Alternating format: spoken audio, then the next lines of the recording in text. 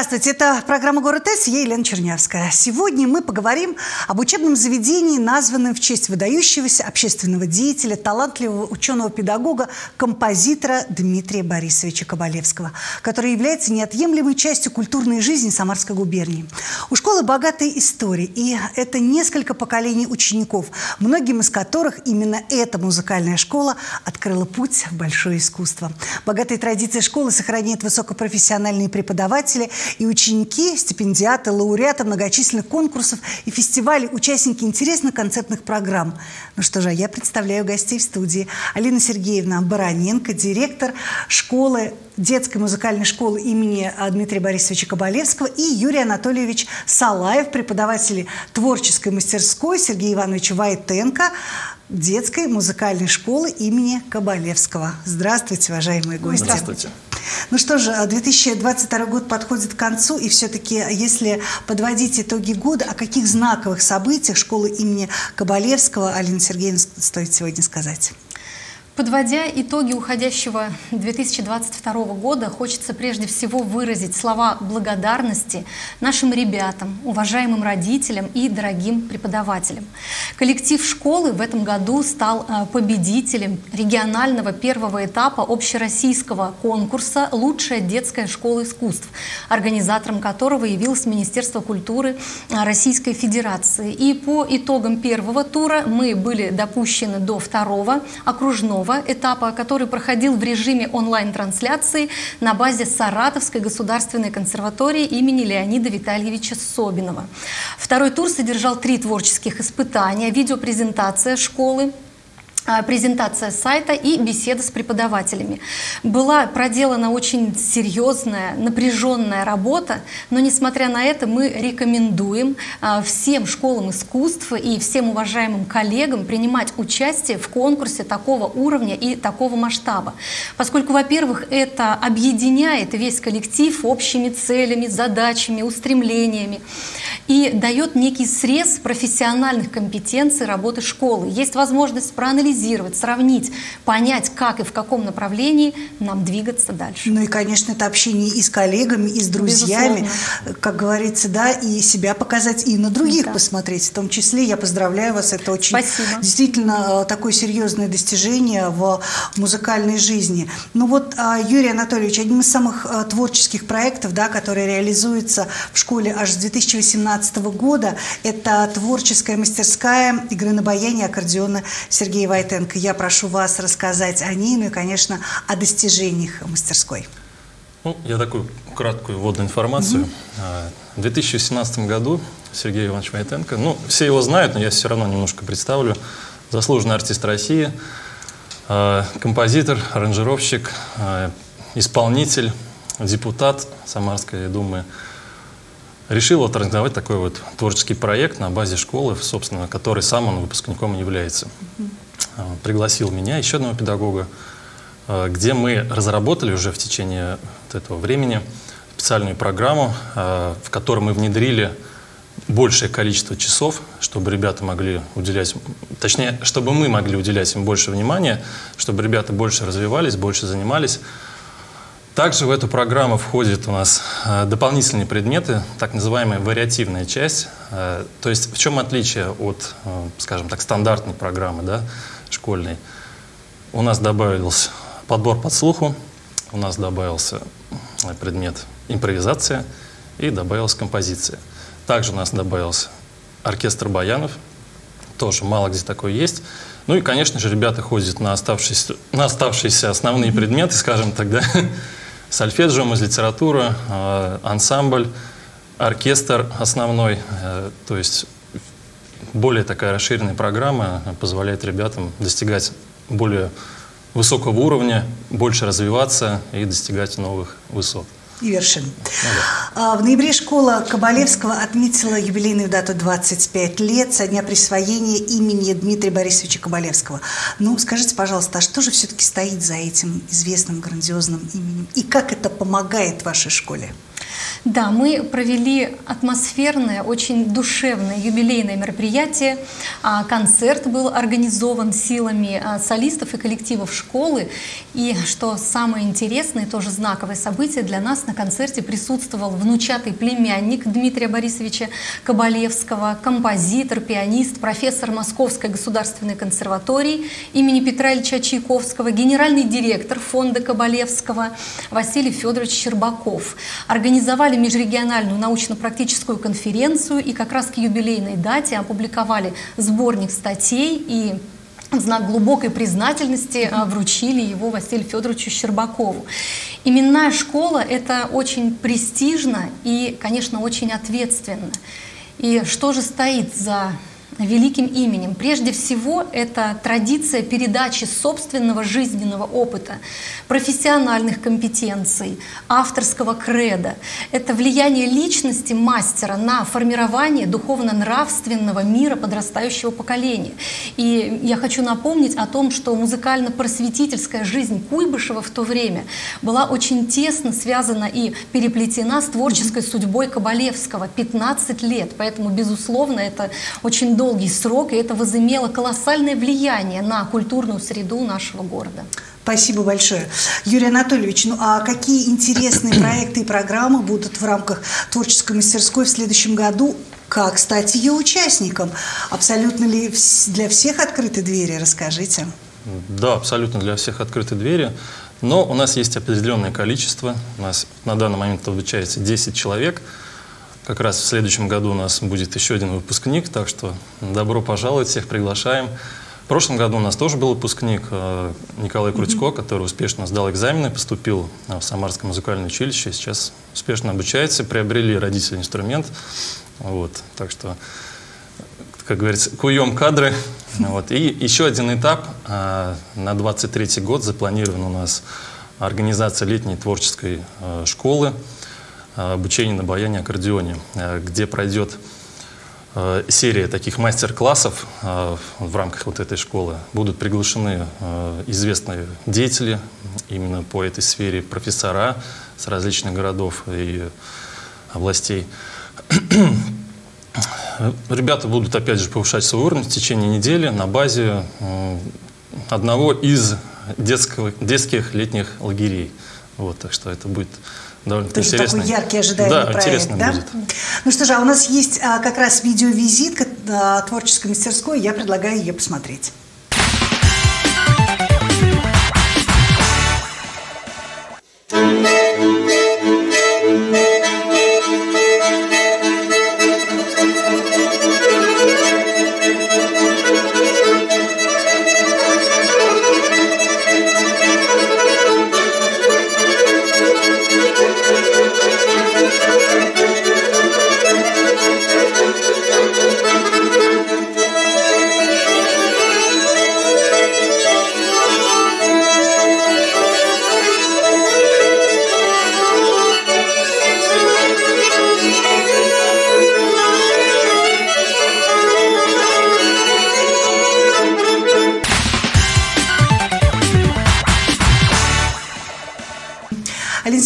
Вот а сегодня можно ли с уверенностью сказать, что в школе имени Ковалевского созданы все условия для развития и, конечно, талантов и реализации самых смелых педагогических идей? И все-таки в чем уникальность вашей музыкальной школы? Ну, мы гордимся нашей богатой историей, выпускниками, которые сегодня являются студентами а, самых престижных вузов страны, и выпускниками, а, которые своей профессиональной, яркой, мощной деятельностью прославляют имя школы и далеко за пределами нашего региона и страны в целом. Хочу подчеркнуть, что основное направление музыкального образования – это предпрофессиональное классическое музыкальное образование, где музыкальная школа – это база базовая, основная ступень вот в профессиональной триаде школа, СУЗ, ВУЗ. Но уникальность музыкального образования заключается еще и в том, что наряду с а, вот, Привитием профессиональных навыков музыка воспитывает и развивает душу ребенка. И в этой связи, конечно, хочется вспомнить незабвенные слова Дмитрия Борисовича Кабалевского о том, что духовный багаж, в отличие от обычного багажа, обладает удивительным свойством. Чем он больше, тем легче идти человеку по дорогам жизни. Скажите, а какие сейчас задачи стоят перед школой и все-таки а, в чем вы видите дальнейшее развитие музыкального образования, Елена Сергеевна? Ну, вы знаете, все наши масштабные задачи, они на самом деле вот сводятся к кропотливому ежедневному труду обучать детей музыкальному искусству, прививать высокий художественный вкус, а, готовиться к зачетам, экзаменам, к ярким творческим выступлениям. Но что же касается дальнейшего развития музыкального образования, я считаю, что это связано с созданием современной, открытой, а, культурно-образовательной среды, основанной на лучших отечественных mm-hmm. музыкальных образцах нашего художественного образования. Ну а то, что есть сегодня для реализации творческого потенциала, я имею в виду и инструменты, конечно, и база, все это в школе есть в достатке, Безусловно. в наличии, в качестве. Да, да, я, конечно, хочу отметить, что в школе работают профессиональные, опытные, квалифицированные преподаватели, а, педагогика для которых является призванием.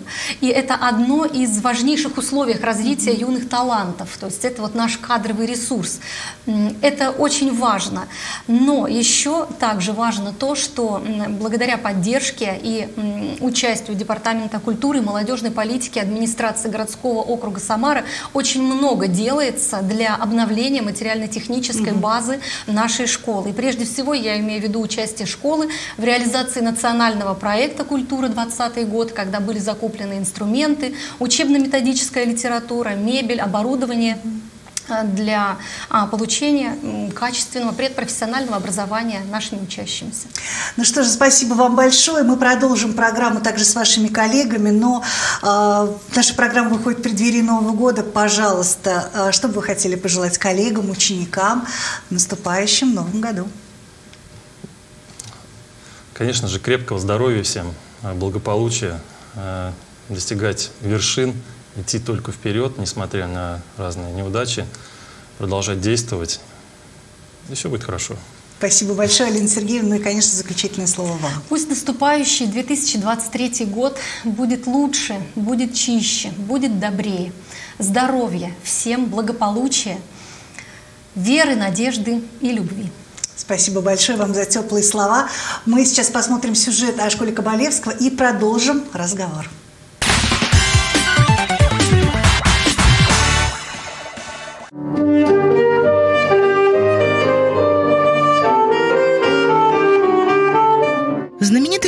Кабалевского в исполнении юных солистов, дуэтов и коллективов прозвучали на саксофоне, фортепиано, баяне, гитаре, домре и виолончели. На концерт, посвященный дате присвоения школе имени великого композитора, собрались родители и ученики, чтобы поддержать музыкантов и поздравить школу с юбилеем. За годы существования наша школа выпустила не одно поколение профессиональных музыкантов. Еще больше просветителей и любителей искусства. Нравственно-эстетическое воспитание и духовное развитие детей наряду с музыкальным образованием – это те вопросы, которые глубоко волновали на протяжении всей жизни Дмитрия Борисовича Ковалевского.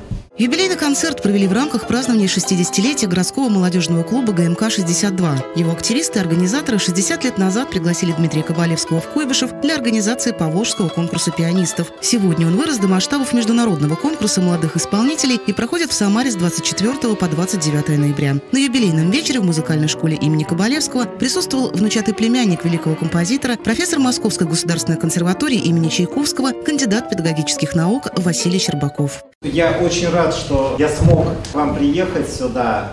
Э, спасибо за приглашение. Э, поздравляю школу, поздравляю коллектив, поздравляю всех, кто вот связан, кто э, приводит своих детей, потому что действительно, мне кажется, школа и музыкальная школа для многих это второй дом. И э, я всегда говорю, что учителя это наши вторые родители, а иногда бывает, что э, по некоторым причинам и первые. В честь 25-летия со дня присвоения школе имени Кабалевского педагогический коллектив организовал межрегиональную научно-практическую конференцию «Нравственно-эстетическое воспитание и профессиональное развитие в музыкальном образовании детей и молодежи». Василию Щербакову на конференции вручили на память сборник публикаций.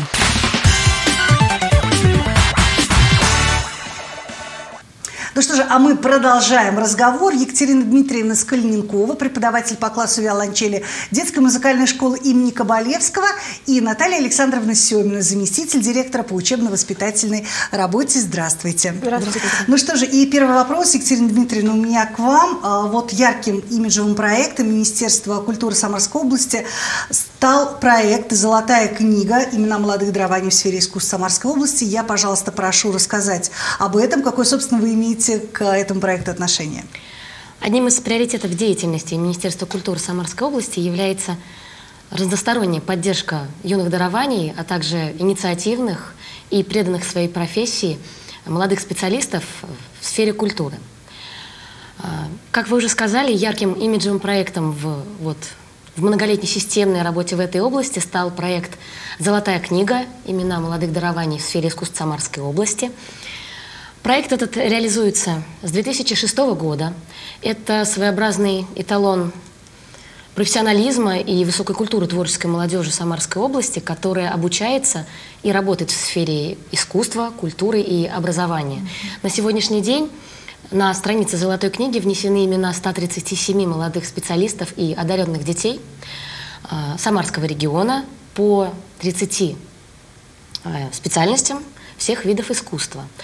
В 2022 году, в преддверии Года педагога и наставника, в положение о золотой книге были внесены важные изменения, был расширен возраст участников, и могли участвовать молодые специалисты, возраст которых э, достигает 35 лет. То есть был расширен возраст участников. Спасибо вам большое. И, Наталья Александровна, хочу спросить вас. А, как известно, да, 2023 год президентом объявлен годом педагога-наставника. И а, скажите, а вообще наставничество в школе Кабалевского распространено, уже привито, можно так сказать? А, ну, роль педагога в музыкальной школе имеет большое количество функций. Одна из функций это, конечно, наставничество в широком смысле этого слова. И если говорить, как же эта роль выполняется да, в нашей школе, можно ответить, что педагоги наставничеством занимаются так, что э, исполняют музыку. И дети, смотря на исполнителя, учителя, хотят подражать ему во всем. И быть таким, как учитель, играть так же, как учитель. И, наверное, это самая главная функция как раз в наставничестве. Ну, естественно, и функция обучающая, да, что передача знаний, умений, навыков от учителя к ученику, воспитательная функция. Все это тоже входит в обязанности преподавателя музыкальной школы. Екатерина Дмитриевна, вы согласны с коллегой? Абсолютно. Да, вы Абсолютно. наставник, талантливые Я очень дети стараюсь, очень стараюсь. Дети смотрят. Кабалевского. Дети смотрят. Расскажите о ваших учениках, пожалуйста. Мои ученики самые замечательные детки. Я люблю каждого из них. Каждый — это индивидуальность. Как сказал Сократ, в каждом человеке есть солнце, только дайте ему светить. Mm-hmm. Это прекрасно, что есть возможность общаться с такими замечательными звездочками. Каждый раскрывается по-своему, каждый горит по-своему, каждый жаждет себя проявить по-своему. Это замечательно, что ты можешь приложить усилия, чтобы помочь им в этом раскрыться, mm-hmm. и потом увидеть, каким он стал, каким он вырос, чего он смог достичь. Ну вот вы а, преподаватель по классу виолончели. А, расскажите, пожалуйста, о ваших занятиях, о коллективах. Именно да, конечно. Именно в каких я принимаю участие? Да, конечно. Угу. Я вообще с самого начала в этой музыкальной школе. Для меня это родной дом, и мой преподаватель, который меня вырастил, она до сих пор там работает. Это наша заведующая отделением Гроховская Людмила Ивановна. И я даже хотела бы сказать, что это и ее заслуга, конечно, в том, что мне посчастливилось попасть на страницы Золотой книги, потому что ей удалось привить вот, ту самую любовь к инструменту, уважение к тому, что, чем ты занимаешься, которое я сейчас пытаюсь передать детям и показать им, насколько это важно и почему это нужно. Как сказала Наталья Александровна, преподаватель должен обязательно играть. Дети смотрят, дети подражают. Я и, будучи учеником школы, принимал участие активное в выступлениях, потому что mm-hmm. Музыкант, он учится не для того, чтобы где-то сидеть, музицировать в уголочке, он учится mm-hmm. для того, чтобы взбираться на сцену, покорять каждую вершину одну за другой, с новыми замечательными произведениями, проявлять себя по-новому. Mm-hmm. Вот, поэтому и администрация школы всегда очень ратует за то, что вы проявляете инициативу и предлагает, и помогает в поисках каких-то, может быть, новых площадок или любых мест, где ты мог бы выступить и проявить себя, да, и, и себя вообще подарить музыку. Реализовать, конечно. Подарить музыку и подарить эмоции. Вот. Да, вы знаете, у нас есть, а, конечно, видео выступлений, и я сейчас а, предлагаю с удовольствием их посмотреть.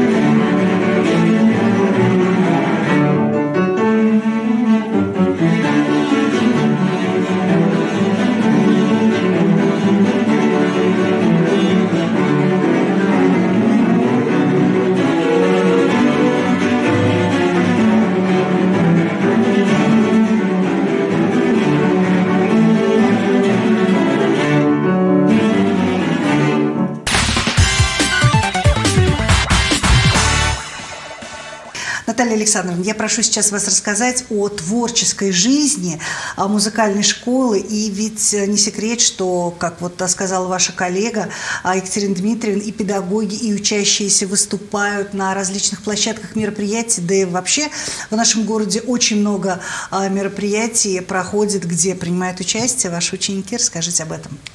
А, творческая жизнь школы очень многообразная, и мы выступаем на разных площадках города, в том числе и открытых площадках, и коллективы педагогические и ученические активно в этом принимают участие. А, помимо этого, конечно, дети и преподаватели участвуют э, в конкурсах мастерства, исполнительского мастерства, занимают призовые места – у нас большое количество учащихся, которые занимают места, и коллективы в том числе. А вот давайте мы сейчас посмотрим творчество коллективов.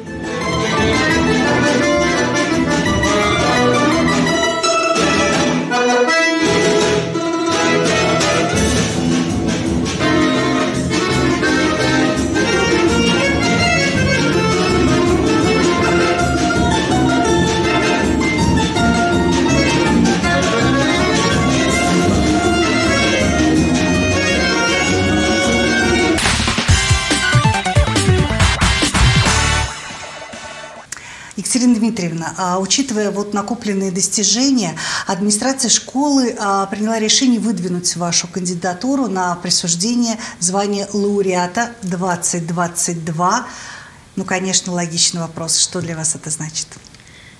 Мне очень хотелось бы выразить слова благодарности Министерству культуры Самарской области за признание моих достижений и высокую оценку труда и в музыкальном искусстве, и в преподавательской деятельности, и, конечно, за оказанную честь увидеть э, свое имя на страницах Золотой книги. Для меня участие в этом проекте, вот то, что мне посчастливилось увидеть свое имя на этих золотых страницах, для меня это стимул. Я считаю, что когда ты занимаешься любимым делом, ты должен ему отдаваться без остатка, ты должен гореть сам. Чтобы горели твои ученики, ты должен гореть сам, и у тебя должно хватать сил. Uh-huh. И ты должен и этому научить своих учеников, что это э, огромным трудом, что это преодолением себя, преодолением какой-то лени, может быть, нежелания. Да, и плохое настроение, и всяческие проблемы ответственность. за порогом школы. Да, да, это самые главные качества, которые угу. должен проявлять тот человек, который занимается да. любимым делом, да. И для меня это как бы признание того, что ты идешь в верном направлении, что ты правильно поступаешь, что это дело доброе, что это дело добросовестное, что это очень важно для детей, что ты в ответе за этих самых юных дарований, с которыми ты работаешь, которых ты воспитываешь. Наталья Александровна, а вот а, в этом году ваш коллектив а, подготовил портфолио на звание соискателя «Народный самодеятельный коллектив». И скажите, пожалуйста, действительно ли вы получили такую вот хорошую, здоровую мотивацию творить дальше, но самое главное, лучше? Ну да, э, я еще являюсь э, руководителем коллектива русских народных инстру... ансамбля русских народных инструментов Кантабеля. И вот в этом году у нас получилось, что в рамках областного семинара директоров при поддержке агентства социокультурных технологий участвовали там как ну, у нас концертная выступление, да. Было э, несколько номеров, э, там были члены комиссии, и комиссия очень лестно отзывалась о нашем выступлении. Э, это было приятно, это, естественно, это является большой мотивацией творить дальше, больше, лучше, и расширять свой репертуар, и на этом не останавливаться. Ну и, безусловно, это было заслуженно, верно? Ну, думаю, да, без всякого сомнения.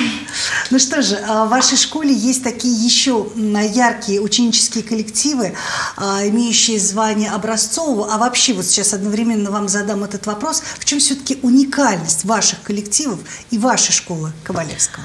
Уникальность коллективов в их творчестве, в их багаже, репертуаре, что коллективы не ограничиваются ученическим репертуаром. Это mm-hmm. репертуар обширный, даже я бы сказала взрослый, взрослых оркестров. Э, ну, как бы я назову, у нас два коллектива. Это э, ансамбль «Ноктюрн», ансамбль виолончелистов, руководитель Гроховская Людмила Ивановна, и э, оркестр русских народных инструментов «Перезвон», руководитель Балашова Наталья Евгеньевна. А, эти коллективы существует достаточно давно, и вот оркестру в этом году будет 25-летие в апреле. Хотелось бы всех пригласить на наш концерт. Концерт э, всегда э, ознаменуется яркими номерами, э, солистами. Солисты mm-hmm. не, не сводятся к, к, к узкому кругу русских народных инструментов. То есть у нас и с Екатериной Дмитриевной прекрасные соло. И скрипка у нас тоже есть, э, вплоть там и флейты. То есть у нас всегда обширный репертуар. И, наверное, в этом и есть уникальность, что мы передаем эти традиции русских народных инструментов, смешивая, синтезируя с другими направлениями. Уже идя в ногу со временем, да, да создавая да. так называемые современные коллаборации, как сейчас это называется. Ну что же, а, наше время подходит к концу, и наша программа выходит прямо вот в преддверии Нового года. Я хочу предоставить вам заключительное слово. Что бы вы хотели пожелать коллегам, педагогам, ну и, конечно, ученикам? Коллегам и педагогам от всей души искренне хотелось бы пожелать здоровья, успехов, творческих успехов.